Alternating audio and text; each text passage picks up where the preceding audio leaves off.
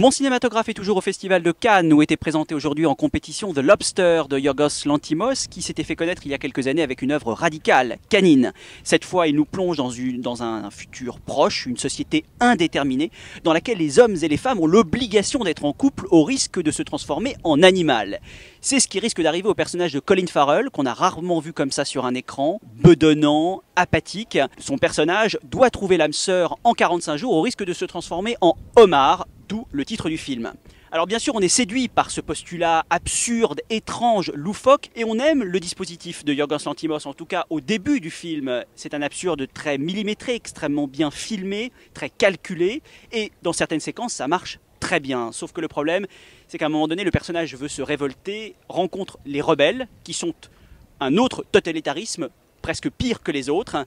Et là, le cinéaste tourne à vide. On ne croit plus véritablement en son histoire, car il manque de la chair et de l'émotion à ce film pour nous embarquer. On reste finalement toujours à distance et ce petit théâtre de l'absurde finit au bout d'un moment par nous lasser.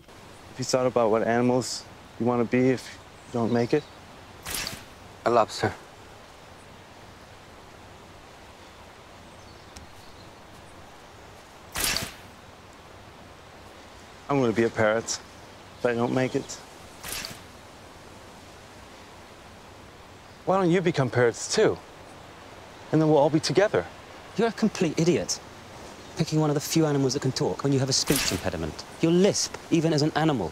As for you, they'll catch you and put you in a pot of boiling water until you die. And then they'll crack open your claws with a tool, like pliers, and they'll suck out what little flesh you have with their mouths. You're pathetic, both of you.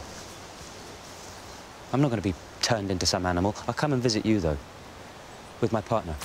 When we're walking together in some park, or when we're swimming in the sea, or when we're on one of our trips.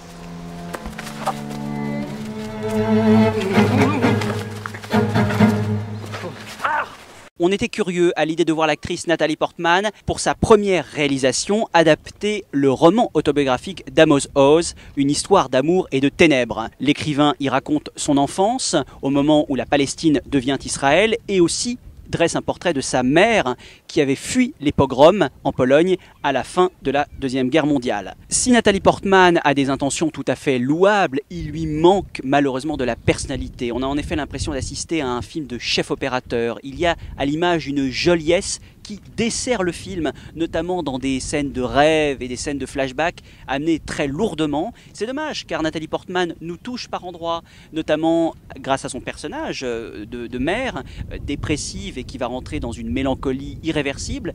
Elle l'incarne de manière sobre et assez juste, mais cela ne suffit pas à nous emballer, peut-être écrasée par l'hommage qu'elle a voulu rendre à Amos Oz et peut-être trop prudente face au sujet potentiellement polémique de son film. Hein. Il s'agit tout de même euh, de la création euh, d'Israël et des conséquences que cela a engendré.